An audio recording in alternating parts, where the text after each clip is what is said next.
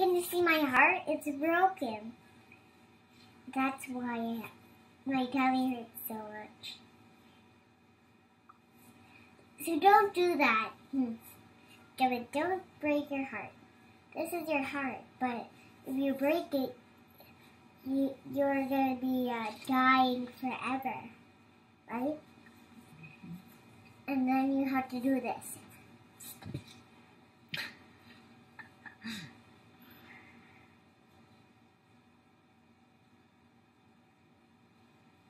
And then you won't talk.